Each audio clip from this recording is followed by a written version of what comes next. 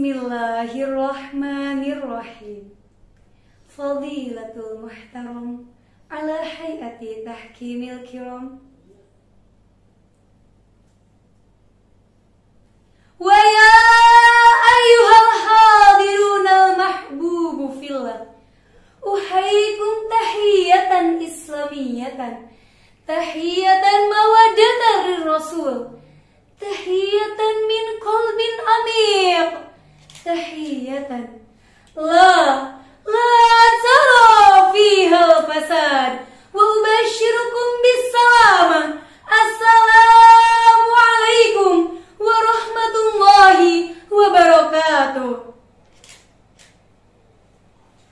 Alhamdulillah Ja'alan nujum Fis sama Wan nasa fil ardi والسمك في الماء والماء للشرب والشرب بالفم والفم للتكلم والتكلم باللغة العربية اللغة العربية اللغة الجنة.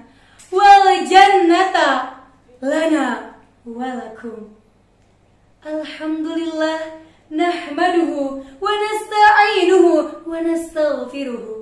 ونعوذ بالله من شرور أنفسنا ومن سيئات أعمالنا من يهد الله فلا مضل له ومن يضلله فلا هادي له أشهد أن لا إله إلا الله وحده لا شريك له وأشهد أن محمدا عبده ورسوله لا لا نبي بعده أما بعد فالأول ما نفعل؟ فهو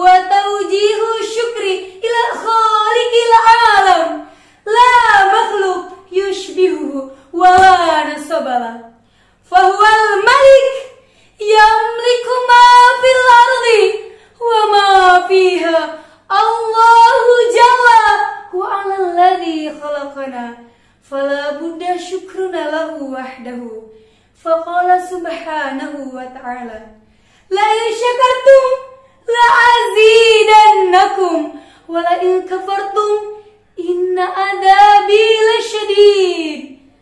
ثم الصلاة والسلام على سيد البشر والأستاذ الإنسان على حبيبنا وشفيعنا ومولانا محمد صلى الله عليه وسلم.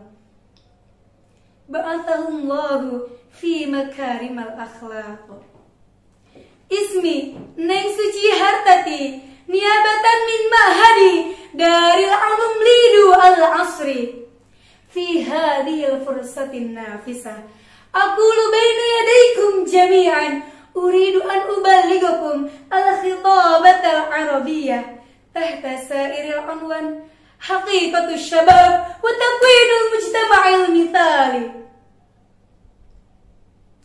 أيها الحاضرون الكرام سأتكلم اليوم عن الشبان والكلام عنه بمعنى الكلام عن أنفسنا لأننا شبان. ولماذا؟ لماذا يسعدني أن أتكلم عنه؟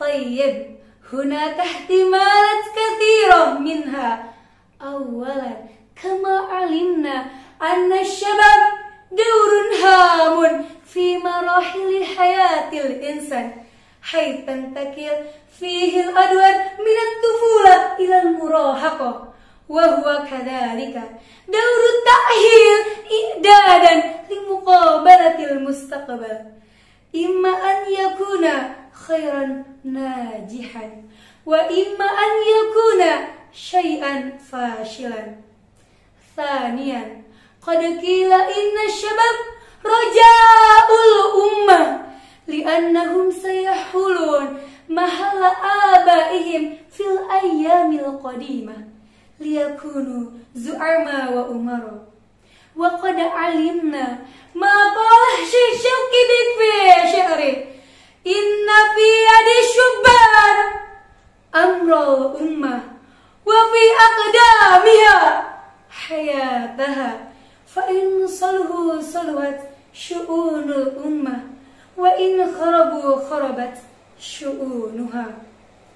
ثالثا على أكتاف الشبان إبع ومسؤولية كبيرة لأنهم وكلاء التجديد. aja.